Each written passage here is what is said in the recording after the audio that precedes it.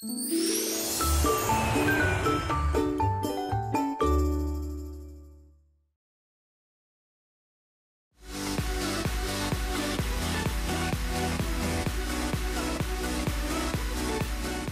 여러분 안녕하십니까? 투르 드 코리아 2018 도전과 열정의 현장을 전해드리겠습니다. 안녕하십니까? 저는 캐스터 김태욱입니다. 그리고 오늘 도움 말씀을 주실 이경훈 해설위원 모셨습니다. 안녕하세요. 안녕하십니까? 네. 어, 올해로 12회째를 맞았습니다. 명실상부 동아시아 국제 도로 사이클의 어, 최고봉이 아닌가 이제 자리 잡지 않았나라는 생각이 드는데요. 그 현장 지금부터 바로 전해드리도록 하겠습니다. 5월 30일부터 6월 3일 5일간 펼쳐졌는데요. 군산, 천안, 영주, 정선, 충주를 거쳐서 서울에서 마무리가 됐습니다. 총 803.8km를 달렸는데요. 어, 20개 팀의 선수 120여 명이 참석했습니다. 자, 이번 대회는 어떻게 펼쳐지고 있나요? 각 스테이지 우승뿐만 아니라 다양한 경기가 펼쳐진다고 할 수 있는데요. 네. 개인 종합 순위, 즉 누가 가장 빠른 선수인지를 가르는 yellow 저지를 입게 되고요. 네. 그리고 스프린트 포인트, 중간 스프린트와 피니시 포인트에서 주어지는 포인트 저지, 그리고 산악 구간 오르막 정상에서 주어지는 어, 산악왕 포인트의 King of the Mountain 저지, 그리고 종합 순위에서 가장 어린 선수들, 만 23세 이하 미만의 선수들의 그 순위를 가르는 young rider 저지, 화이트 저지가 있습니다. 네, 경기 속에 경기가 펼쳐진다고 보면 되겠죠. 네, 그렇습니다. 네, 그리고 이번 대회에는 20개 팀이 참여를 했습니다. 어떤 팀들이 있나요? 다양한 프로 continental 팀과 아시아권 continental 팀들이 어, 참가를 했는데요. 올해는 특히나 많은 한국 팀들이 참가하면서 그 어느 때보다 치열한 투르 드 코리아를 기대하게 됐습니다. 네, 스테이지가 다섯 개로 이루어져 있습니다. 각각의 코스를 한번 자세하게 살펴보도록 하겠습니다. 먼저 첫 번째 스테이지 군산을 출발합니다. 두 번째는 천안에서 영주까지 그리고 세 번째는 영주에서 정선까지 달리는데 세 번째는 아무래도 강원도로 들어갈 만큼 오르막이 많았고 네. 그 이후에 정선에서 청주까지 그리고 서울에서 마지막 경기가 열리게 되었습니다. 이렇게 총 803.8km를 달렸는데요. 자, 그럼 먼저 첫 번째 스테이지 군산으로 가보도록 하겠습니다. 네, 군산에서 천안까지 184.6km를 달리게 되는데요. 어, 선수들이 이제 어, 첫날이다 보니까 많이 긴장되고 또 어, 몸은 좀 가벼울 것 같아요. 네, 아무래도 조금 전에 모습이 작년도 우승자인 민경호 선수였는데 그 이 투르 드 코리아는 한국 선수들에게 일년중 가장 중요한 대회 중 하나입니다. 네. 그렇기 때문에 많은 선수들이 이 투르 드 코리아 코스를 모두 답사하는 경우가 많고 굉장히 많은 준비를 한 반면에 외국 선수들은 아무래도 좀 더 편안한 그런 표정으로 긴장이 그렇게 높지 않은 모습을 보실 수 있습니다. 네, 지금 stage one의 코스 지도를 보고 계시는데요. 음, 먼저 군산 월명체육관을 출발을 하게 되고요. 스프린트 구간이 하나가 있고 그리고 피드존이죠. 보급 구간이 한 번 있고 어, 산악 구간이 3등급짜리가 하나가 있습니다. 네, 첫날 이 군산 현장에서는 이렇게 다양한 축제 그리고 하나의 즐거움을 선사하는 그런 대회로 자리매김하고 있는 것 같습니다. 선수들이 출발 전에 이 출발 서명을 하게 됩니다. 네. 이 단상에 올라가서 본인이 오늘 경기를 출전할 것이다를 이제 확인하는 그런 사인을 하게 되는데요. 예전에는 그냥 종이에 사인하는 정도였지만 이제는 이게 각 팀이 한꺼번에 올라와서 사인을 하기 때문에 관중들에게 이 본인 팀을 보여주는 아주 좋은 무대가 되기도 합니다. 네. 어, 선수들이 굉장히 여유로운 표정으로 이제 출발 징소리를 들으면서 일제히 출발을 하고 있습니다. 자, 근데 사이클링 같은 경우에는 어, 처음에 시작을 할 때 중립 구간이라는 게 있습니다. 그렇죠. 선수들이 출발하자마자 전력으로 달리지 않고 네. 일단 뒤를 돌아보기도 하고 심판 차량 뒤에서 얌전하게 따라가며 경기를 시작하게 됩니다. 이것은 중립 구간으로서 아무래도 이 도심에서 출발하기 때문에 위험한 상황, 뭐 도로 장애물들을 피해서 도심 외곽까지 나갈 때까지 이제 통제가 되는 그런 모습입니다. 네. 자, 중립 구간이 끝남과 동시에 선수들이 일제히 빠른 속도로 나아가고 있습니다. 아, 확실히 중립 구간과는 다른 모습이에요. 네, 0km 지점을 지나자마자 첫 번째 어택들이 시작되는데 역시나 한국 선수들이 적극적으로 나서고 있죠. LX 사이클링 팀의 박상훈 선수도 역시나 작년 서울 어, 사이클링의 소속이었는데 올해는 팀을 바꿔서 달림에도 불구하고 역시나 아주 굉장히 적극적인 모습을 보여주고 있습니다. 네, 선수들의 안전을 위해서 지금 교통 통제가 되고 있는 모습도 볼 수가 있고요. 이렇게 국민들이 많이 이렇게 합, 협조해주기 때문에 이런 큰 대회도 펼쳐질 수 있는 게 아닌가 싶습니다. 네, 이스라엘 사이클링 아카데미의 이스라엘 national 챔피언인 골드슈타인 선수도 attack을 하는 등 첫 번째 스테이지, 첫 attack에는 다양한 선수들이 참가하게 됩니다. 네, 지금 보시는 바와 같이 군산은 새만금의 도시 아닙니까? 아, 새만금 이 거리가 펼쳐지는 모습을 하늘에서 바라보면서 선수들이 달려나가고 있는 모습인데요. 어, 지금 선수들이 너무 많기 때문에 그리고 초반이기 때문에 어떤 선수를 주의 깊게 봐야 된다 이런 부분은 없지만 이 그룹에서 떨어져 나가면 안 되는 거잖아요. 그렇죠. 이 대집단을 peloton이라고 그 지칭하는데 peloton은 한 큰 집단으로서 다양한 그런 움직임을 보여줍니다. 앞에 지금 앞서 나간 선수들 선두를 형성해서 attack에서 이제 뛰쳐나오는데 성공한 선수들이 작은 그룹을 소규모 그룹을 이루어서 달리는데요. 이곳을 breakaway라고 하고요. 네. peloton은 일단 이 breakaway를 지켜보는 상황이죠. 과연 이 브레이커웨이를 잡을지 말지를 결정하는 것은 바로 펠로톤에 달려 있습니다. 지금 네 명의 선수가 뛰쳐나왔는데 그 중에 이 두 명만이 어, 나머지 선수를 떨구고 둘이서만 달릴 수 있게 지금 거리를 벌린 상황입니다. 네, 지금 선수들의 사이클을 타는 자세만 봐도 아 이게 산악 구간이구나, 이게 내리막 구간이구나라는 것을 알 수가 있는데요. 네. 어, 조금 전에 말씀해 주셨던 것처럼 정확히 이 어택이라는 거는 어떤 상황에서 어떤 어, 모습을 보일 때 어택이라고 표현을 하는 건가요? 네, 펠로톤에서 뛰쳐나올 때도 어택이고 일단 급가속을 하게 됩니다. 어택이라는 것은 이 다른 본인이 있던 그룹에서 가속을 하면서 거리를 벌리는 그런 행위인데 자전거 경기에서는 아무래도 오르막 그리고 바람 저항 이 두 가지가 가장 큰 그 경기를 결정하는 요소들입니다. 이 다른 선수들이 내 뒤에 따라붙어서 후륜을 이용하지 못하도록 순식간에 버- 거리를 벌리는 것 그게 바로 가속하는 게 attack이라고 하는데요. 지금 attack을 성공적으로 이루면서 두 선수 유나이티드 헬스케어의 알렉산더 캐터포드와 함께 이스라엘 사이클링 아카데미의 벤 페리 두 선수가 지금 peloton으로부터 뛰쳐나는데 성공했습니다. 지금 peloton에서는 윌리어 트리에스티나 팀 이날의 이 스테이지 우승을 노렸던 스프린터 야쿱 마레츠코를 위해서 이 팀이 이끌고 있고 나머지 두 선수들 앞에 있는 두 선수가 계속해서 협조를 하면서 달리게 됩니다. 네, 선두로 나간 두 선수는 지금 다른 팀이지만 지금 이 상황에서는 함께 가야 할 동지잖아요. 그렇습니다. 자, 지금 산악 구간을 통과를 하고 있는데요. 어, 공덕제죠. 해발 227m인데 1.3km의 이 산악 구간을 선수들이 힘겹게 오르고 있는 모습을 볼 수 있었습니다. 네, 오르막에서 이 두 선수가 경합을 하지 않는 그런 모습을 보여줬는데 이것은 암- 아무래도 이 두 선수가 사전에 어느 정도 약속을 한 것입니다. 두 선수 모두 산화강 저지보다는 이날의 스테이지 우승을 굉장히 중요하게 여겼던 만큼 굳이 산화강 지점에서 둘이 경쟁에서 힘을 빼지 말자. 어, 우리는 비록 다른 팀이지만 두 선수가 같은 캐나다 국적을 갖고 있는 선수이기도 하고요. 네. 그 끝까지 라이벌임에도 불구하고 끝까지 함께 협력하면서 달리면은 peloton으로부터 떨어져 나와서 최대한 오래 생존할 수 있는 그런 상황입니다. 네. 그렇기 때문에 사이클 같은 경우는 굉장히 정치적인 스포츠라고 하는데요. 이 경기 내부에서도 선수들이 각자 본인의 목표에 따라서 라이벌과 협력하기도 경쟁하기도 하는 그런 모습을 보여줍니다. 네. 자, 이제 peloton 그룹도 산악 구간을 통과를 하고 있는 모습입니다. 네. 오르막 정상 어, King of the Mountain KOM 지점에서 300m 떨어진 곳인데 앞선 두 선수와 이 peloton 대집단의 선수들 모두 딱히 큰 경쟁을 하지 않고 그대로 넘어가면서 이번 투르 드 코리아의 첫 번째 산악왕 저지를 입게 되는 선수는 바로 알렉산더 캐터포드가 됩니다. 네, 캐터포드가 가장 먼저 산악왕 구간, 산악 구간을 통과하는 모습이고요. 그 뒤에 peloton 그룹이 뒤이어서 산악 구간을 통과하고 있습니다. 네, peloton에서는 살짝 그 속도를 높이는 선수들이 보였는데요. 네. 케이스포 비앙키의 권순영 선수 그리고 베넬롱 스위스 웰니스 팀의 조셉 쿠퍼가 그 뒤를 따르면서 peloton에서 가장 먼저 오르막을 올랐습니다. 현재 peloton에서는 윌리어 트리에스티나 팀이 계속해서 끌고 있는데 이 팀은 오늘 스테이지 우승을 원하고 있습니다. 자, 지금 어떤 주머니를 하나씩 들고 있습니다. 네, 이곳은 보급 구간 feed zone인데 이 구간에서 선수들은 일명 점심을 먹게 됩니다. 네. 각 주머니에 간단하게 만든 저 주머니 안에는 뭐 샌드위치라든지 먹을 것, 각종 뭐 과자나 보급식, 영양 젤 그리고 음료수, 콜라 등이 들어있는데 이곳에서 각 팀의 스태프들에게 이 주머니를 받아들고 아이고. 네 점심 지금 놓침 선수들도 있어요. 네, 놓치는 선수들도 있죠.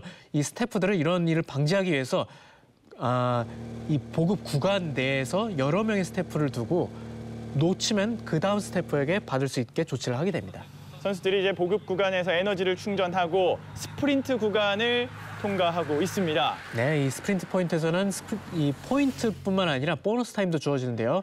보너스 타임은 가장 먼저 넘는 세명의 선수에게 그리고 포인트는 네명까지 그 부여가 됩니다. 네, 경기 속에 다양한 경기들이 있다 보니까 재미를 더하고 있는데요. 스프린트 구간을 선수들이 통과하고 있습니다. 네, 역시나 선두에 있던 두 명의 breakaway는 큰 경합 없이 이스라엘 사이클링 아카데미의 벤페리가 가장 먼저 지나갔고요. 네. 이 포인트에서는 5점, 3점, 2점, 1점 이렇게 포인트가 주어진 후에 보너스 타임도 벤페리가 가장 많은 3점, 아, 3초를 얻어갔습니다. 네, 그리고 peloton에서 다시 한번 attack을 시도하는 선수가 나왔습니다. 지금 우리나라 선수인 것 같은데요. 네, 앞선 두 선수가 지금 peloton과 어느 정도 거리가 좁혀지면서 약 48초 차이로 달리고 있던 peloton에서 서울 사이클링의 주대영 선수가 attack을 했습니다. 홀로 지금 독주로 앞선 두 명에게 다가왔습니다. 네, 지금 보여지는 이 화면이 바로 뚜르드 코리아의 매력이 아닐까 싶습니다. 너무나 아름다운 아, 정말 보기만 해도 시원합니다. 그렇죠. 전국 방방곡곡을 달리면서 자전거의 매력이죠. 경치를 보는 그런 어, 것인데 선수들은 사실 경치를 보기 힘듭니다.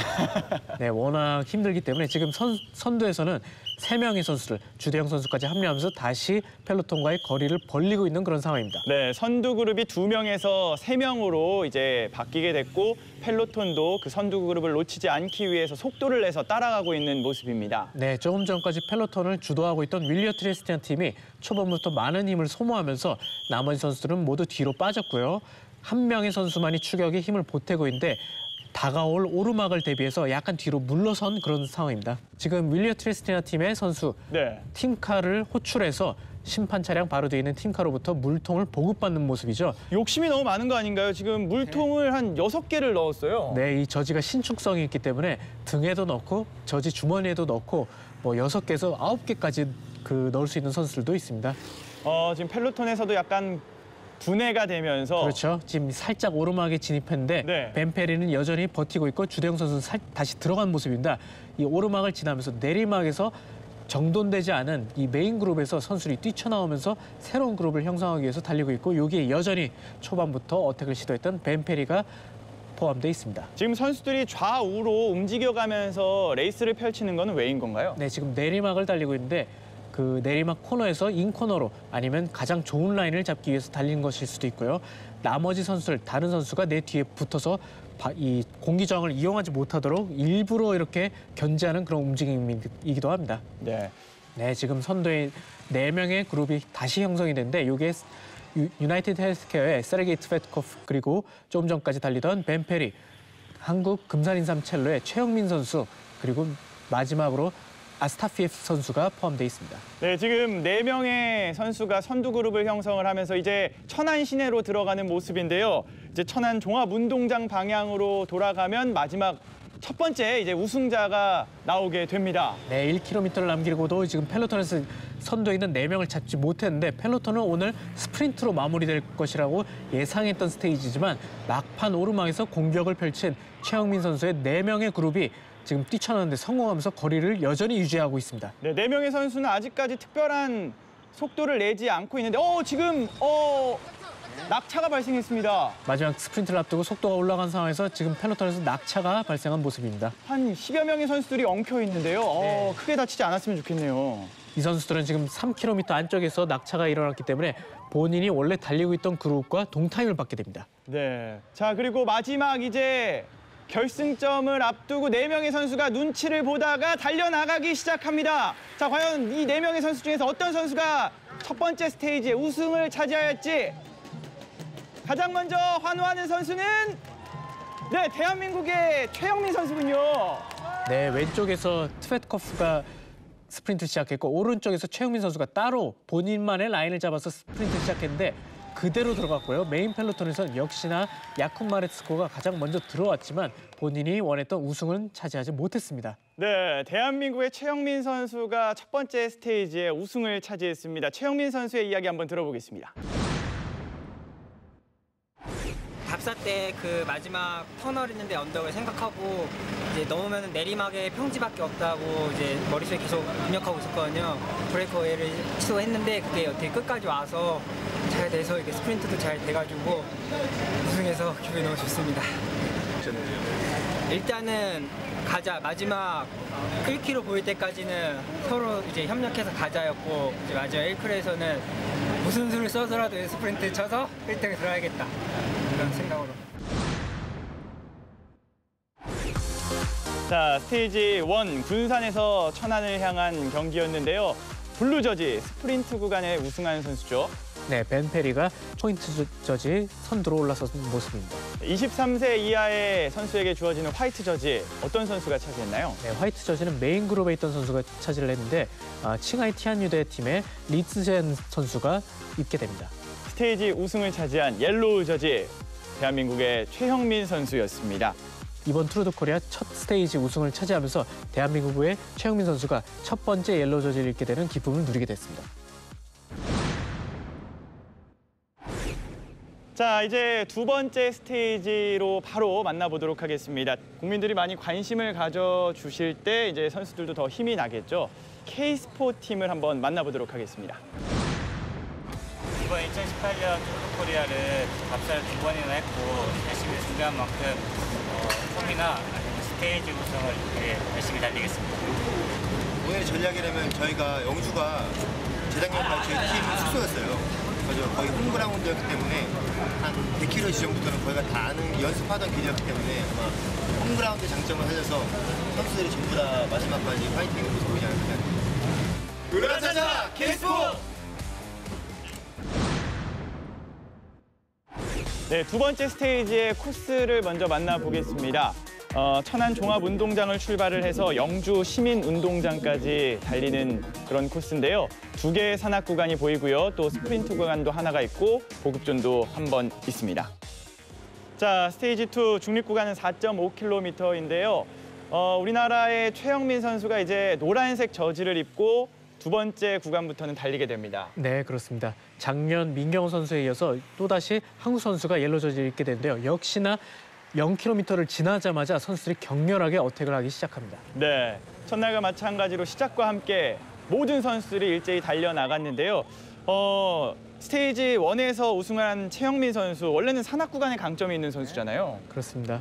이날부터 이제 금산 인삼 첼로는 팀 리더의 yellow jersey를 지키기 위해서 굉장히 활발하게 움직이게 되는데 천안 시내를 채 벗어나기 전에 지금 교통 통제가 네. 원활하게 이루어지지 않으면서 선수들이 잠시 멈추게 되고 심판이 중립을 다시 선언하게 됩니다. 아, 지금 시작한 지 얼마 되지 않았는데요. 모든 선수들이 지금 달리다가 멈추는 상황이 발생을 했습니다. 돌발 상황인데 어, 뭐 불행 중 다행이라면 모든 어택들이 무산되고 펠로톤이 다시 선두에 있는 선수를 잡아낸 후에 지금 중립화가 선언됐기 때문에 피해를 입은 선수는 없었고 선수들은 약간의 막간의 그 휴식을 즐기면서 다시 경기를 출발하게 됩니다. 네, 선수들이 잠시 휴식을 취하고 다시 출발을 하게 됐는데요. 어, 무엇보다도 이 선수들의 안전이 제일 중요한 거잖아요. 네. 선수들의 안전을 위해서 심판진은 재빠르게 중립 구간을 어, 선언하면서 선수들에게 큰 피해가 돌아가지 않은 그런 모습이고요. 또다시 어택이 시작되면서 이번에는 어, 한국 선수들이 또다시 포함된 선두 그룹을 형성하기 위해서 움직이기 시작했습니다. 자, 그리고 첫 번째 산악 구간입니다. 어, 세 명의 선수가 산악 구간을 통과를 하고 있네요. 네, 정상에서 200m 남은 지점인데 이곳에서 아, 드라파 EF 팀의 리안 마제네스 그리고 바로 뒤는 KSPO 비앙키의 권순영 선수입니다. 네. 이 두 번째 산악 구간은 엽돈재인데요. 해발 321m입니다. 네, 지금 앞선 그룹에는 네명의 선수가 함께 달리고 있었는데 그 뒤에 peloton에서 미처 선두 그룹에 합류하지 못한, 못한 가평 사이클링의 최동혁 선수가 홀로 추격 중인 그런 모습입니다. 아, 선두 그룹에도 포함이 되지 않고 peloton에도 포함되지 않는 굉장히 외로운 상황인 그렇습니다. 거네요. 이것을 무인지대라고 부르는데 앞에 붙이기에는 어, 힘들지만 다시 돌아가기엔 너무 아쉬운 그런 상황이죠. 네, 산악 구간이다 보니까 선수들이 이렇게 좌우로 네. 그 빠르게 기동하면서 네, 다른 기동을 하면서 선수들 달리고 그 있죠. 견제 중이었지만 첫 번째 산악 구간에서는 이 드라파기에프의 리안 마제니스 선수가 가장 먼저 넘고 그 뒤로 케이스포의 케이스포 비앙케의 권수정 선수 그리고 서울 사이클링의 주믿음 선수가 지나가게 됐습니다. 두 번째 스테이지의 산악왕 결과가 나왔습니다. 첫 번째 구간이죠. 그렇습니다. 리안 마제니스 선수가 가장 먼저 지나갔고 KSPO 비앙키의 권순영 선수 그리고 서울 사이클링의 주믿음 선수가 그 뒤를 이었습니다. 네, 지금 세 명의 선두 그룹과 peloton이 나뉘어져 있는 모습이고요. 네, 중간 스프린트에서 역시나 세 명의 선수들은 서로 경합하고 있는 그런 모습입니다. 네, 지금 세 명의 선수가 직선 구간이죠. 굉장히 빠른 속도로 달려나가고 있습니다. 좌우로 흔드는 모습이었고요. 여기는 메인 그룹 peloton이 스프린트 포인트를 지나가는 모습인데 사실 이곳은 큰 경합을 할 필요는 없었기 때문에 이스라엘 national champion인 로이 골드슈타인이 먼저 넘고 나머지 peloton의 선수들은 큰 스프린트 가속 없이 그대로 지나가는 그런 모습이었습니다. 네, 먼저 결과부터 한번 살펴보겠습니다. 네, 선두에 있던 세 명의 스프린트 대결은 주믿음 선수 그리고 권순영 선수와 함께 리안 마제니 선수가 마- 가장 마지막으로 들어오는 어떻게 보면 사랑한 구간과 거꾸로의 결과가 나왔습니다. 네. 자, 그리고 선수들에게는 굉장히 달콤한 시간이 될 이 보급 구간인데요. 어, 이 안에는 다양한 내용물이 들어있는 것 같습니다. 초콜릿도 보이고요. 네. 지금 선수들에게 물통을 나눠주기 위해서 대기하는 스태프들인데요. 선수들도 이곳에서 물통과 지금까지 먹었던 그 보급식의 쓰레기를 버리면서 쉽게 수거하도록 협조를 하고는 그런 모습입니다. 네. 어, 지금 또 다른 선수가 혼자 달리다가 낙차를 하게 됩니다. 네, 이 키난 사이클링 팀의 선수인데요. 이 선수는 지금 뭔가 뒤쪽에서 그 팀카로부터 보급을 받기 위해서 돌아오는 중에 약간 삐끗했는지 앞바퀴가 꼬였는지 갑작스럽게 넘어지면서 큰 부상을 당한 모습입니다. 어, 네. 바로 일어서지 못하는 것을 보니 아무래도 뭐 골절상과 같은 큰 부상을 입었을 것으로 보입니다. 지금 보시다시피 정말 멋진 풍경을 또 한 번 볼 수 있었는데 네. 그러면서 선수들은 힘든 산악 구간, 두 번째 산악 구간을 맞이하게 됩니다. 네, 두 번째 산악 구간에서 역시나 마지니스 선수와 함께 권수영 선수가 대결을 했는데 마지니스 선수가 갑자기 멈추면서 페달을 뺍니다. 어, 무슨 일이 있는 것 지금 같은데요? 변속 트러블로 인해서 체인이 끊어지는 사고가 발생하면서 자전거는 체인이 끊어지면 무용지물이 됩니다. 곧바로 중립 자전거를 요청하는 마제니 선수의 모습이었고요. 권순영 선수는 이 틈을 타서 그대로 올라가면서 두 번째 산악 구간 정상을 가장 먼저 넘게 되며 산악왕 저지를 입게 됩니다. 네, 지금 자전거를 교체했는데 중립 자전거라는 건 어떤 걸 말씀하시는 거예요? 네, 선수들이 문제가 생겼을 때 그 보통 팀, 어, 팀 차량에서 본인의 자전거를 대차를 받게 되는데 팀차가 지금 바로 뒤에 없는 상황이었기 때문에 중립 지원 차량, 이 파란색 차량에서 그 자전거를 급하게 받아든 그런 모습입니다. 지금 살짝 보이다시피 차량 위쪽에 자전거 몇 대가 같이 있는 저 자전거를 말하는 거군요. 중립 차량은 팀과 관계없이 모든 선수들에게 지원을 하게 되는데 이 지원받은 자전거가 본인 사이즈에 맞지 않음에도 불구하고 일단 주미듬 선수까지 따라 붙으면서 마지니 선수가 두 번째 산악 구간 두 번째로 통과하게 됩니다. 네. 네, 이곳에서 마지니 선수가 다시 한번 중립 자전거에서 본인의 팀 자전거로 바꿔들, 어, 바꿔 타게 되는데 문제는 이 팀 차에도 본인의 자전거가 아니라 동료의 어, 교체 자전거입니다. 사이즈가 맞지 않는 자전거를 또다시 갈아타게 됐지만 일단은 중립 자전거보다는 사이즈가 조금 더 맞았기 때문에 급하게 다시 바꿔 타고 출발하는 그런 모습입니다. 지금 화면에는 두 번째 산악 구간을 넘는 펠로톤입니다. 네, 두 번째 산악 구간 결과가 나왔습니다. 먼저 권순영 선수가 가장 먼저 들어왔고요. 마그니스 선수가 2위, 그리고 주미듬 선수가 세 번째로 들어왔습니다. 이 선수가 계속 엎치락뒤치락 하고 있네요. 그렇습니다. 아마 정면으로 맞붙었다면 마제네 선수가 권수영 선수보다 앞서서 산악왕 저지를 입었을 가능성이 높지만 역시나 그 변속 본인의 변속 미스로 인해서 체인이 끊어졌는데요. 어, 지금 세 번째로 자전거를 다시 본인 자전거로 바꾸는 모습입니다. 지금 굉장히 허탈하다는 듯이 바꾸는데 탈 때 약간 삐끗하면서 지금 제대로 타지 못하고 있죠. 이게 탈 때 갑작스럽게 계속해서 사용하던 근육이 아니라 다리를 뻗게 되면서 쥐가 올라온 모습입니다. 아, 지금 부상까지 겹쳤군요. 그렇죠. 쥐가 갑작스럽게 올라가면서 올라오면서 결국에는 선두에 다시 합류하지 못하고 정말 어렵게 어렵게 경기를 재개하는 그런 모습입니다. 아, 마그니스 선수에게는 이 두 번째 스테이지가 굉장히 악몽과도 악몽 같은 같은. 그런 상황이네요. 자, peloton의 모습이고요. 매진 선수 같은 경우에는 굉장히 적극적으로 움직였음에도 불구하고 불운이 겹치면서 결국에는 peloton으로 먼저 돌아가게 됐고요.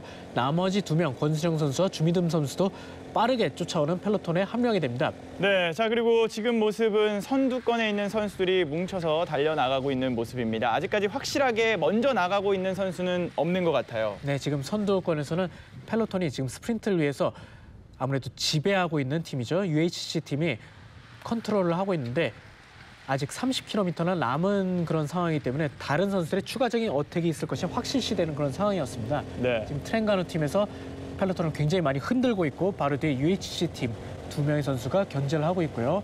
가평 사이클링 팀이 또다시 나가면서 한국 선수들이 아무래도 어택을 계속해서 거듭하고 있는 그런 상황입니다. 네, 지금 선수들이 미어캣처럼 뒤에를 계속해서 쳐다보면서 달리고 있는데요. 저 안에서도 계속해서 사인을 주고받고 있는 거잖아요. 네, 1km를 남기고 모든 어택이 무산됐고요. 이제 펠로톤은 스프린트에 대비하기 위해서 지금 다들 어택을 자제하고 마지막 300m에서 누가 가장 빠른 속도를 낼 수 있는지를 기다리고 있습니다. 네, 선수들이 이렇게 달려나갈 때마다 옆에서 바람 소리가 들리는데요. 저게 엄청난 속도로 지금 달려나가고 있는 거잖아요. 그렇죠. 저렇게 많은 선수들이 마지막 결승점을 향해서 속도를 내고 있습니다. 자, 과연 어떤 선수가 두 번째 스테이지에 우승을 하게 됐을지 가장 먼저 손을 든 선수. 네, 지금 이스라엘 사이클링 아카데미의 미켈 라임 선수가 가장 먼저 들어왔고 네. 같은 팀원이 함께 환호를 하는 그런 모습이었습니다. 산하강을 차지한 권순영 선수 이야기도 한번 들어보겠습니다. 어, 여기 집 앞이라 코스도 잘 알고 있어가지고 진짜 많이 여기서 많이 훈련했거든요. 코스도 잘 알고 오늘 폼 구간을 먹으려고 노렸었는데 생각대로 돼가지고 참 기분 좋습니다. 그 드라펠 선수가 굉장히 폼에서 강한 선수인 것 같은데 첫 번째 폼에서는 아직 2등을 하고 두 번째 폼에도 이제 경쟁을 하다가 그 선수가 기재고장으로 인해서 마지막까지 레이스를 그 경쟁을 하지 못했는데 그래도 운이 따라가지고 잘 됐던 것 같습니다. Oh, yeah. So uh, yeah, yesterday I was in the breakaway and I was going for the last KOM points and I broke my chain about a kilometre from the top. And I had about four bike changes up and over the other side before I was caught by the peloton. And then um, I managed to hang on to front group and finish in the top 30. Yeah, um, if my bike didn't break yesterday, I would have been pretty confident being in the jersey today. But it's fixed now and hopefully I can get a jersey at the end of today's race. That's the goal.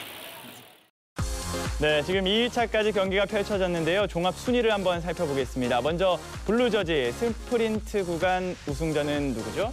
네, 현, 아, 오늘 스테이지 우승을 차지했던 미켈 라임 선수가 blue jersey를 입게 되었습니다. 네, 그리고 산악왕에서 조금 전 인터뷰를 들어봤던 권순영 선수가 20포인트를 얻으면서 1위를 달리고 있고요.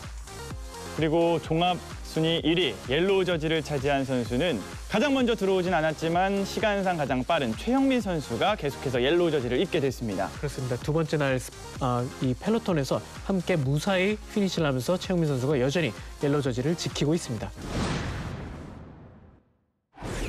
네, 투르드 코리아 2018 군산에서 천안으로 가는 스테이지 1 그리고 천안에서 영주로 가는 스테이지 2를 지금 살펴봤는데요. 어, 굉장히 다양한 이야기들이 많이 펼쳐졌습니다. 네, 아직까지는 오프닝이라고 볼 수 있는데 아무래도 선수들이 본격적인 그 승부처로 꼽은 스테이지 3을 앞두고 있었기 때문에 그 많은 선수들이 이곳을 대비하기 위해서 굳이 attack을 나가지 않는 그런 상황이었습니다. 과연 최영민 선수가 첫날 yellow jersey를 얻었지만 둘째 날에 많은 팀원들을 잃으면서 그 체력적인 한계를 보여주는 그런 상황이었는데 세 번째 날까지 무사히 지켜낼 수 있을지가 관건입니다. 네, 생애 첫 yellow jersey를 입은 최영민 선수 계속해서 yellow jersey를 지켜낼 수 있을지 지켜보면 좋을 것 같습니다. 네, 저희는 잠시 후에 돌아오겠습니다. 네, 투르드 코리아 2018 지금 스테이지 두 개까지 펼쳐졌습니다. 2일차까지 어떻게 보셨나요? 네, 아무래도 한국 선수가 여전히 yellow jersey를 지키고 있기 때문에 굉장히 희망적인 상황이라고 할 수 있지만 본격적인 승부처 세 번째 날은 아직 그 오지 않았습니다. 네, 이제 승부처가 될 세 번째 스테이지를 만나봐야 하는데요. 만나기 전에 어, 과연 우리나라 사이클 팀은 어떤 팀들이 있는지 그 팀을 소개하는 영상 한번 만나보도록 하겠습니다. 먼저 가평 사이클링 팀입니다. 예, 어제 참 선수들이 몸이 좋아가지고 일을 저질러나 싶었는데 그 선대 세 명이 왔는데 최동희 선수가 내리막 내려가다가 낙찰 했어요. 예, 그래가지고 좀 안타깝게 그 푸르에서 완주했는데 기대했던 선수가 좀 낙찰해가지고 좀저 종합이 좀 뒤로 밀렸어요 어제. 예, 전략적으로는 뭐 특별한 전략은 없고요. 무조건 가야 됩니다. 언덕이 많아가지고 뭐 작전이 필요 없어요. 자, 갑자기 화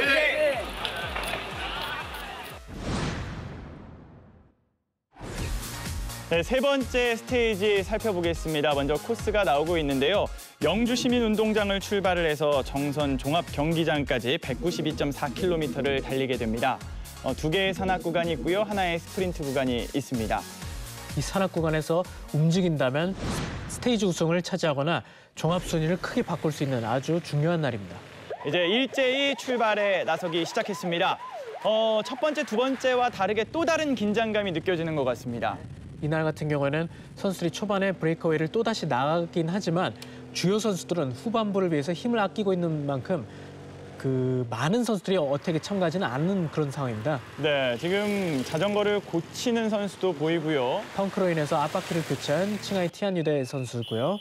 이 선두 그룹 breakaway 그룹에는 의정부의 정하전 선수 그리고 KSPO 비앙키의 서준영 선수와 함께 서울 사이클링의 주대영 선수가 또다시 포함이 됐습니다. 네, 근데 사이클 이 대회가 굉장히 어렵다고 느껴지는 게 그러면서 또 재밌다고 느껴지는 게 yellow jersey를 입은 선수가 1위인데 지금 계속해서 보이지 않고 있습니다. 그렇습니다. 일단은 메인 그룹에서 몸을 숨기고 있거나 그 메인 그룹을 리드하고 있는 그런 상황이라고 볼 수 있는데요. 네. 메인 그룹 현재 나오는 peloton에서는 역시나 옐로 저지를 입고 있는 최영민 선수의 금산인 삼첼로가 계속해서 끌고 있습니다. 초반 브레이커웨이가 형성되면 이것을 너무 멀리 보내주지 않도록 시간 관리할 시간 관리를 해야 될 팀은 결국에는 옐로 저지를 입고 있는 팀이기 때문에 초반에 나섰지만 이렇게 초반부터 이 경기를 주도하게 되면서 많은 체력을 소모하게 되고요.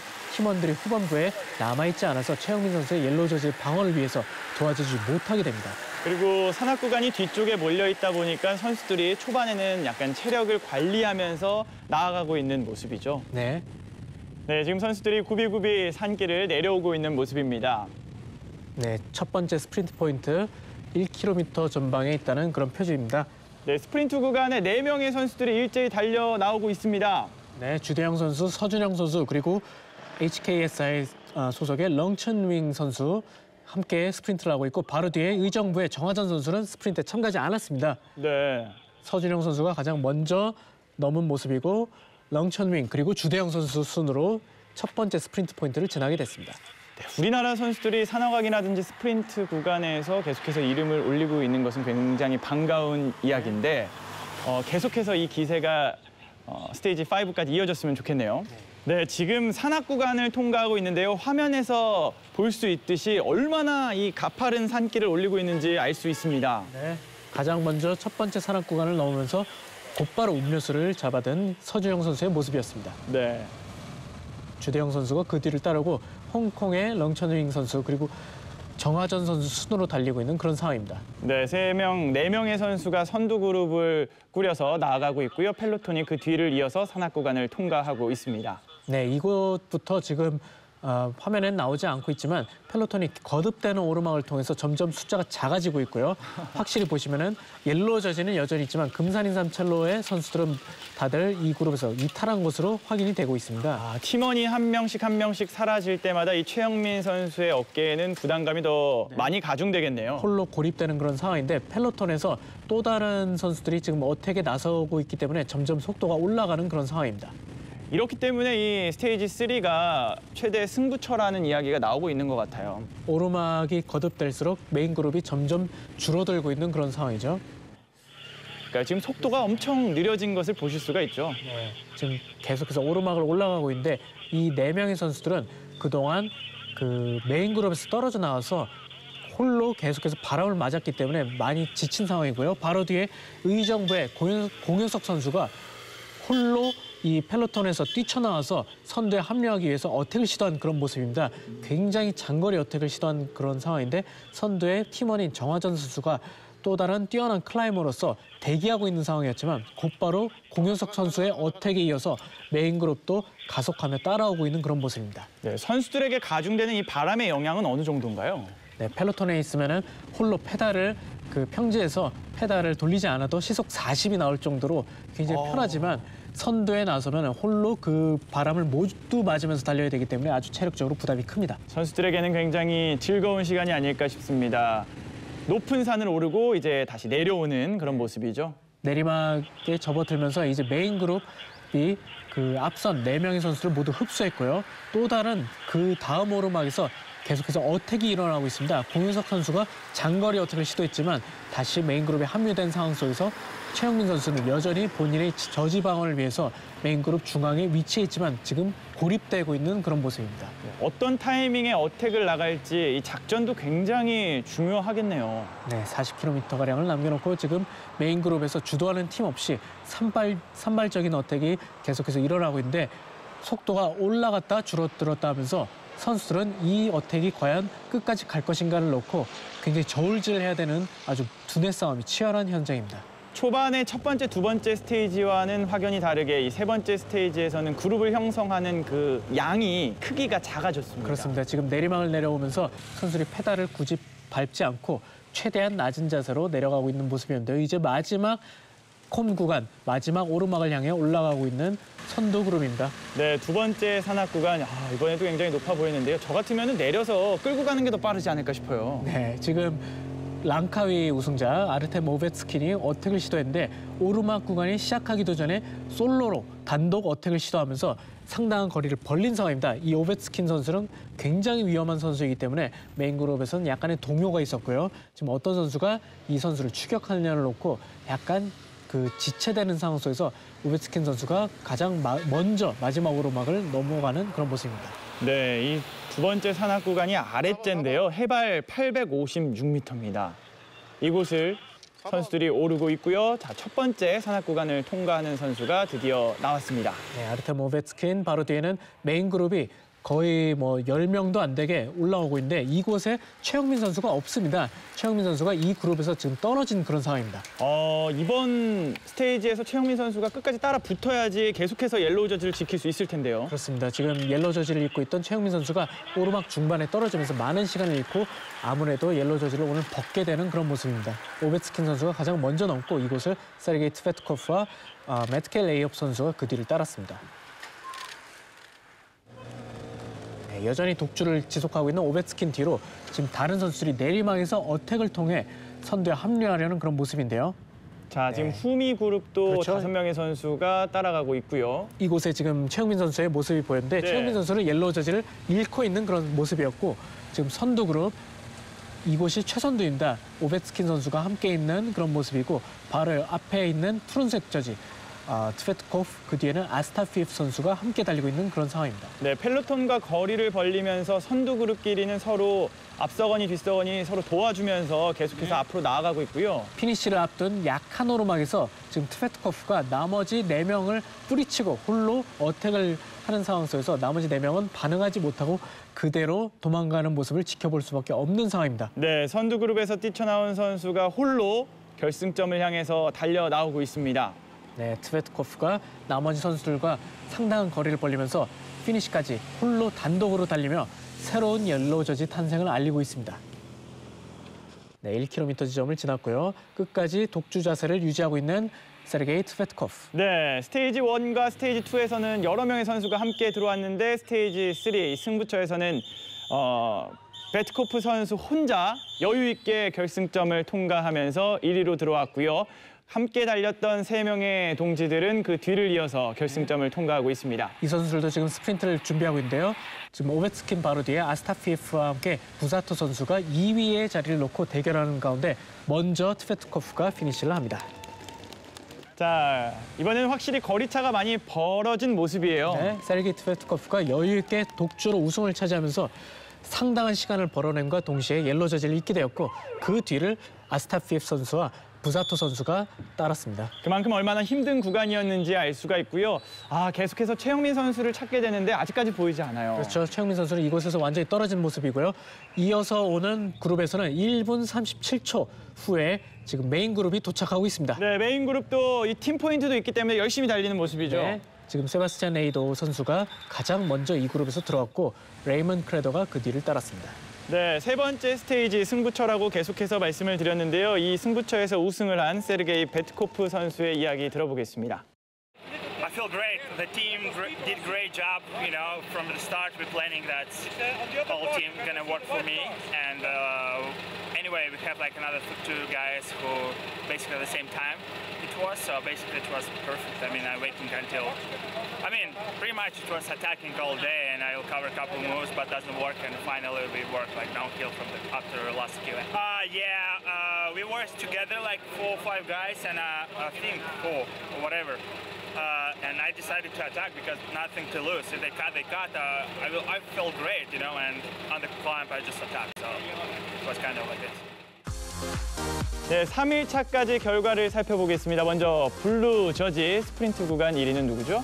네, 루카스 세바스찬 레이도 선수가 메인 그룹에서 가장 먼저 들어오면서 포인트를 따내 팀 리더인 트베트코프의 옐로 저지와 함께 블루 저지도 갖고 오게 됐습니다. 자, 그리고 최영민 선수가 계속해서 지키고자 했던 옐로우 저지 드디어 바뀌었습니다. 네, 솔로 attack에 성공한 세르게이 트베트코프가 옐로 저지를 입게 되고 그 뒤를 종합순위 스테판 아스타피에프 선수와 마테오 부자토 함께 attack했던 동지들이 아, 줄줄이 따라가게 됐습니다.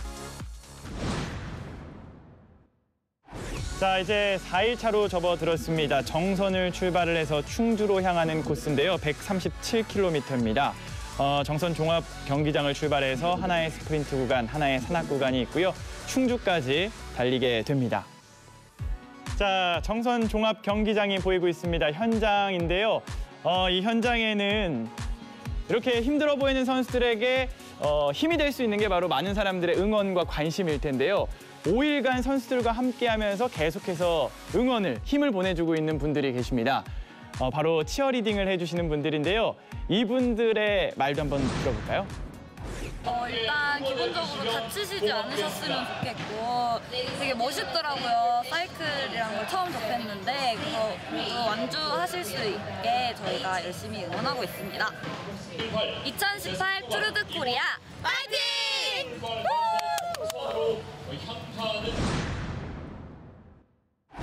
네, 4일차 경기 이제 선수들이 출발을 했습니다. 3.5km의 중립 구간 시작하자마자 지금 선수들이 넘어졌어요. 저 지금 중립 구간에서 약간 그 로터리에서 선수들이 넘어졌는데 이것은 중립 구간이었고 그 경기 결과에 큰 영향을 미치지 않는 그런 곳이기 때문에 심판들이 이 넘어진 선수를 기다려주는 그런 모습이 있었습니다. 네, 지금 어, 이번 대회에서는 낙차 사고를 좀 많이 보게 되는 것 같아요. 네, 그래도 다행히 큰 낙차, 뭐 큰 중상을 입은 선수는 거의 없었고요. 조금 전에 낙차에서도 선수들이 크게 다치지 않고 곧바로 합류해서 0km를 지났지만 심판들이 뒤에 낙오했던 선수들이 모두 합류할 때까지 기다려준 후에 경기를 오픈하는 그런 모습입니다. 네. 아, 저는 이런 장면만 나오면 굉장히 기분이 좋아지는데요. 어, 우리나라가 정말 아름답구나라는 생각이 듭니다. 네, 지금 터널을 그 지나고 있는 선수들 선두에는 엘렉 사이클링의 김유로 선수가 다시 한번 속도를 올려보고 누가 따라오는지 확인하는데 케이스퍼 비앙키의 선수들이 지금 어, 새로운 그룹을 형성하지 못하도록 방해를 하는 그런 모습이죠. 이날 경기는 비교적 짧은 경기였던 만큼 breakaway의 우승이 유력했던 그런 날인데 네, 우리나라 선수들이 계속해서 주도해서 공격을 시도를 하고 있고 그리고 또 그 공격을 막기 위해서 많은 선수들이 따라가고 있습니다. 네, 첫 번째 스프린트 포인트가 얼마 남지 않았기 때문에 이곳에서 어떻게든 보너스 타임을 얻어서 순위를 한 단계씩 올려보고자 하는 선수들이 있었는데요. 지금 첫 번째 스프린트 포인트를 앞두고 있는 선수들의 모습입니다. 네. 이 사이클 대회가 재미있는 게 아, 지금 스프린트 구간인데요. 선수들이 이 점수를 따기 위해서 또 일제히 앞서 나가고 있는데요. 이번에는 좀 차이가 많이 벌어진 모습이에요. 조금 전에 attack에서 홀로 빠져나와서 가장 먼저 이 스프린트 포인트를 넣으면서 보너스 타임을 획득했고요. 곧바로 오늘의 목표는 달성했다는 듯이 이곳을 넘자마자 손을 떼는 이 선수가 바로 니포 비니판티니의 마르코 티차 선수였습니다. 네, 스프린트 구간 결과 살펴보겠습니다. 매트 켈 레이업 그리고 공윤석 선수가 이곳을 지나고 peloton에 다시 흡수되는 그런 상황입니다. 이 사이클 대회가 어떤 선수가 우승을 할지, 어떤 선수가 스프린트 구간에 앞서 나갈지, 어떤 선수가 산왕왕을 차지할지 예상을 할 수가 없기 때문에 계속해서 집중해서 볼 수밖에 없는 것 같아요. 네, 그날 그날 선수들의 전략도 다르고 팀의 전략도 다르고요. 지금 펠로톤에서도 선수들이 앞에 나갔지만 누가 더 나갈 것인지를 뒤를 돌아보고 있습니다. 그만큼 변수가 많기 때문에 누가 앞서 나갈지 누가 이 컨디션에 따라서 머무를지를 알 수 없는 그런 경기입니다. 네. 네, 지금 상당히 큰 규모의 breakaway가 형성이 된 모습인데 아무래도 80km를 남기고 약 2분 가량을 벌어낸 선두 그룹. 이 그룹이 아직까지는 충분한 시간을 벌어내진 못했지만 서- 어, 선수들의 숫자가 굉장히 많고요. 잘 협조만 한다면 피니시까지 갈 수 있는 그런 원동력을 지닌 그런 선수들로 구성이 돼 있습니다. 네, 유나이티드 헬스케어가 지금 peloton을 이끌고 있는데 이것은 이 옐로 저지를 입은 아, 트베트커프를 위해서 지금 끌고 있습니다. 네, 아리랑의 숨결이 살아 숨쉬는 정선을 거쳐서 이제 대한민국의 중심 고을인 충주를 향해서 선수들이 달려 나가고 있습니다. 거리가 지금 벌어지고 있는 상황이죠. 네. 52km 가량을 남겨놓고 4분대로 벌어졌는데 이게 쉽게 잡히지 않는 그런 상황입니다. 네, 지금 일곱 명의 선두 그룹이 앞서 나가고 있는 모습을 확인할 수가 있습니다. 네, 선수들이 계속해서 이렇게 손을 들면서 표시를 하는 거는 각자 팀끼리의 작전을 수행하고 있는 건가요? 아무래도 앞에 지금 마셜 분이 그 스태프들이 차량을 통제하는 그런 모습이었는데 도로 위에 장애물이 있으니 조심하라고 수신호를 해주는 것입니다. 아, 선수들끼리. 그렇죠. 펠로톤은 다른 팀, 다른 선수들로 구성돼 있지만 펠로톤에 있을 때는 모두 동업자라는 인식이 강합니다. 네, 지금 선두 그룹은 산악 구간을 함께 오르고 있습니다. 일곱 명의 선수가 산악 구간 입구를 통과하고 있는데요. 네, 오르막에 진입하자마자 지금까지 간신히 붙어온 선수들이 먼저 이탈을 하는 모습이고요. 네, 두 명 선수가 앞서 나오고 그 뒤를 이어서 또 다른 두 명의 선수가 따라가고 있습니다. 그렇죠. 베넬롱 스위스밸리스의 조셉 쿠퍼, 바로 뒤에는 에렉 사이클링의 박상홍 선수가 따라가고 있는데 이 박상홍 선수는 작년도 아시아 continental 그 챔피언을 차지했을 정도로 아주 로드레이스에 능한 선수입니다. 하지만 앞에 있는 이 조셉 쿠퍼, 독주가 굉장히 강한 선수입니다. 뉴질랜드 national 독주 챔피언을 여러 번 차지했을 정도로 아주 강한 그 soloing 능력을 갖고 있는 그런 선수죠. 네, 해발 402m의 국사봉을 통과한 선수들 순위를 살펴보겠습니다. 네, 조셉 쿠퍼 그리고 박상홍, 우치마 코에이 순으로 이곳을 지나갔는데 이 오르막을 시작으로 계속되는 up-down이 있습니다. 네, 네 지금 후미에서 선두 그룹이 달리는 모습을 보고 있는데요. 선두가 치고 나가는데 어, 옆에서 봤을 때는 거리가 그렇게 멀지 않는다라는 느낌이 들었는데 뒤에서 보니까 굉장히 멀게 느껴지네요. 네, 조금 전까지 함께 달리던 이 박상홍 선수와 조셉 쿠퍼 이 중에서 쿠퍼 선수가 30km 이상을 남겨놓고 박상홍 선수를 버리고 홀로 독주를 시작했습니다. 아, 30km를 홀로 외로이 달린다. 이 바람의 저항도 만만치 않을 것 같고요. 네, 지금 어, 여러 가지 상황을 다 고려해야 할 텐데요. 그렇죠. 지금 팀카에서 더위를 식혀주기 위해서 쿠퍼의 등에 물을 뿌려주는 모습인데요. 홀로 계속해서 달리고 있는 모습 그리고 바로 옆에 팀카가 조셉 쿠퍼에게 그 영양이라든지 보급식이라든지 물을 필요할 때마다 보급해주는 그런 모습입니다. 이게 바로 사이클 대회죠. 열정과 도전 정신. 네, 지금 조셉 쿠퍼가 홀로 달리는 중에 내리막에서 내리막에 접어들었는데요. 지금 내리막에 접어들면서 큰 기어, 무거운 기어 위로 바꾸다가 outer chainring에서 체인이 빠지면서 예, 그 잠깐 기재 고장이 일어납니다. 어, 바로 옆에 있던 mechanic 그 차량에서 곧바로 내려서 이제 미케닉이 바로 정비를 해주고 재출발을 시켜주는 그런 모습입니다. 어 그래도 바로 옆에 있어서 다행입니다. 네, 약 10초 가량을 잃은 상황인데 어떻게 보면 굉장히 위험한 상황이었지만 빠른 대처 그리고 능숙하게 크게 당황하지 않고 차분하게 대처를 하면서 쿠퍼 선수가 그대로 날아, 아, 나아갈 수 있는 그런 상황입니다. 운도 따랐네요. 앞에 먼저 30km를 치고 나가겠다는 결정을 했기 때문에 저렇게 바로 옆에서 미케닉이 고쳐줄 수 있었던 네, 거잖아요. 이미 조셉 쿠퍼가 나머지 선수들로부터 1분 이상의 거리를 벌렸기 때문에 팀카가 진입이 허용이 된 그런 상황이고요.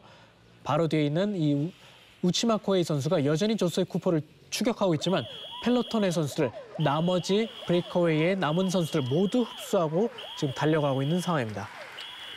네, 지금 선두가 너무 앞서서 달려가기 때문에 앞이 보이지 않을 때 peloton 그룹의 전략은 어떻게 짜야 될까요? 네, 아무래도 시야에 그 가둬놔야만 추격하기가 쉬운데 이렇게 멀리, 너무 멀리 떨어지게 되면 peloton 입장에서도 목표로 삼아서 추격할 만한 그런 게 찾기 힘들기 때문에 속도가 더 느려질 수 있고요. 일단 시야에 가둬놔야만 제대로 된 추격을 할 수 있는 그런 상황입니다. 하지만 peloton은 이미 조셉 쿠퍼를 2분 이상 그 벌어진 상황 속에서 쉽게 추격하지 못하고 또 어떤 팀이 앞장서서 나설 것인지에 대한 그런 의견 차이가 분분했기 때문에 결국엔 yellow jersey를 입고 있는 유, UHC 팀이 뒤로 물러선 상황이고요.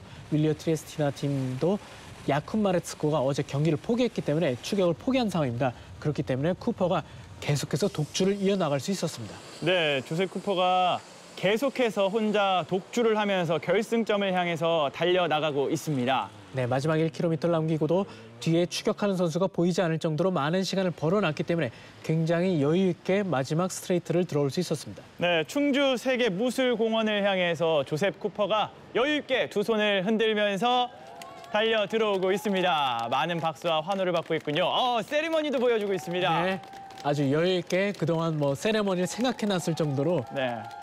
굉장히 여유 있고 멋진 우승을 차지하는 조셉 쿠퍼였습니다. 30km를 홀로 독주를 하면서 네 번째 스테이지의 우승을 차지했습니다. 조셉 쿠퍼 선수 소감 한번 들어보겠습니다. Uh, yeah, I mean, today it was important to be in the breakaway. And then after the breakaway, you know, you got to pick your moment to go by yourself towards the win. And, you know, so as it happened, I picked uh, that final climb. And then, yeah, I had uh, about 37 kilometres to go to the finish by myself.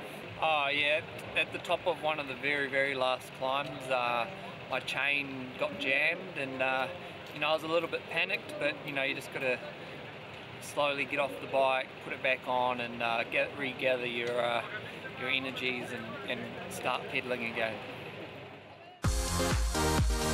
네, 4일차 경기까지 종합 기록을 살펴볼 텐데요. 먼저 스프린트 블루저지 어, 1, 2, 3위가 지금 나오고 있습니다. 네, 루카스 세바스틴 에이도가 여전히 선두를 달리고 있는 가운데 레이먼 크레더 선수가 3점 차이로 바짝 따라붙고 있습니다. 네, 그리고 23세 이하 white jersey는 네, 리안 마제니 선수가 여전히 young rider jersey를 지키고 있는 가운데 알렉세이 볼로신, 비노 아스타나 모터스의 선수가 1초 차이로 바짝 쫓아가고 있고요. yellow jersey를 차지하는 선수는 누가 됐나요? 네, 어제 우승을 차지하면서 옐로 저지를 가져왔던 세르게이 티페트코프가 이날 큰 이변 없이 지켜내면서 마지막 스테이지를 앞두고 여전히 옐로 저지를 입고 있습니다.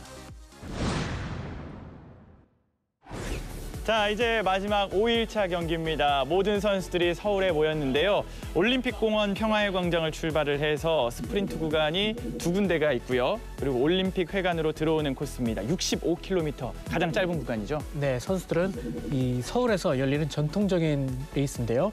강변북로를 타고 마포대교 인근까지 갔다가 다시 돌아온 후에 올림픽공원 외곽 도로를 네 바퀴를 돈 후에 피니시하게 됩니다. 네, 4.2km의 중립 구간을 지나서 선수들이 다시 한번 마지막으로 힘을 짜내고 있습니다.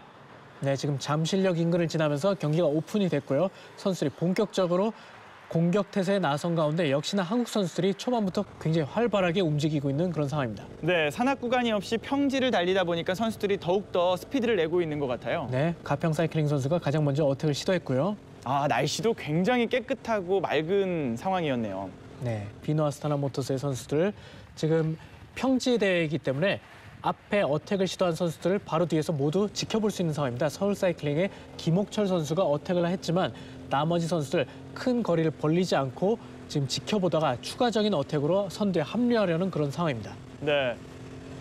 구간도 짧고 그리고 평지다 보니까 선수들이 계속해서 넓은 그 도로를 좌우로 흔들면서 앞서, 앞서거니 뒤서거니 하고 있습니다. 자, 이렇게 넓은 도로를 통제를 해서 선수들이 달리게끔 할 수 있는 데는 정말 많은 협조가 필요할 텐데요. 이 대표에서 국민 여러분들께 감사하다는 말씀을 좀 드려야 될 것 같아요. 역시 시민 여러분들의 그 이해와 협조가 가장 중요한 게 바로 이 사이클 대회죠. 네. 아, 이 한강의 모습 다리 위에서 보니까 정말 멋있네요. 네, 지금 peloton 굉장히 길게 한 줄로 늘어서서 가- 달리고 있는데 아주 빠른 속도로 달리고 있습니다.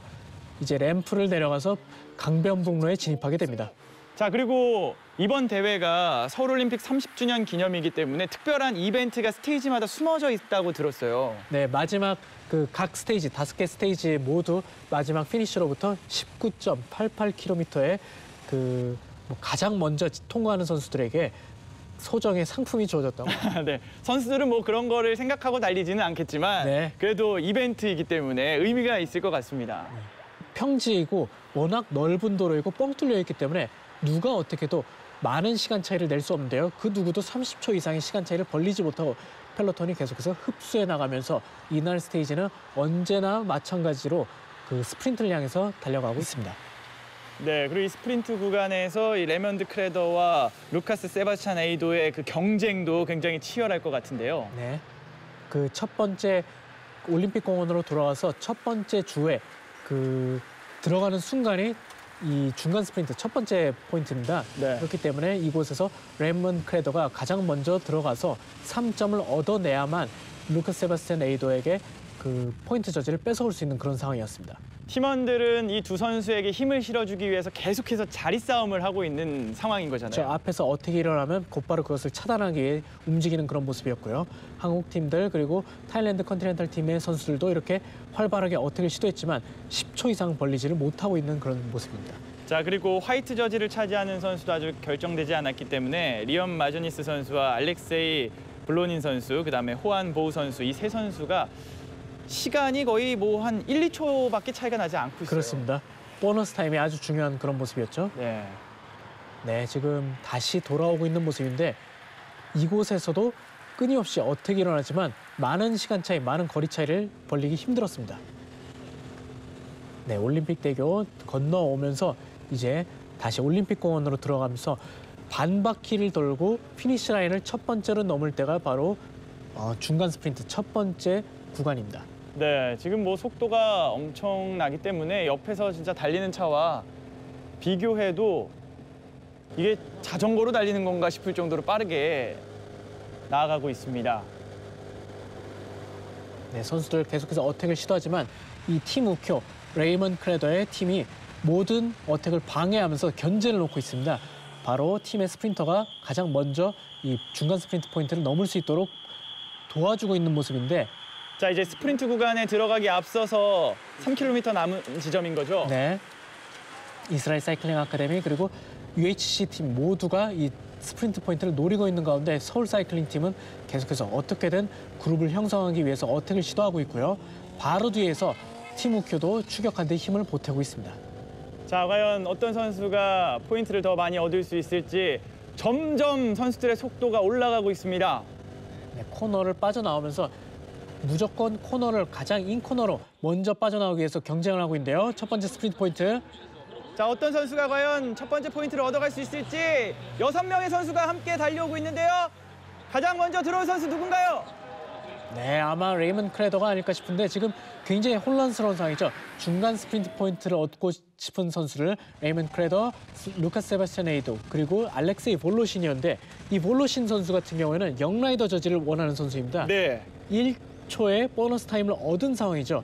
그래서 리안 마제네스 선수와 함께 동률을 이루게 됩니다. 아, 볼루신 선수가 이렇게 점수를 따면서 마지막 스프린트 구간까지 이 긴장을 놓칠 수가 없는 상황이 됐어요. 지금 이 point jersey, blue jersey와 함께 young rider jersey, 흰색 jersey의 대결이 혼합돼서 나왔기 때문에 아주 같은 목표를 어, 위해서 지금 다양한 선수들이 나서 스프린트 대결을 펼친 그런 모습이었습니다. 네.